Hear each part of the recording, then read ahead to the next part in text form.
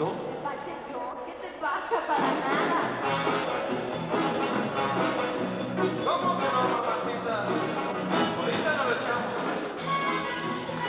Ay, no se me lo quiero hacer el oso, ¿eh?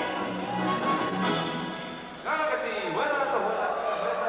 Y vamos Gracias. ahora con algo un poquito más.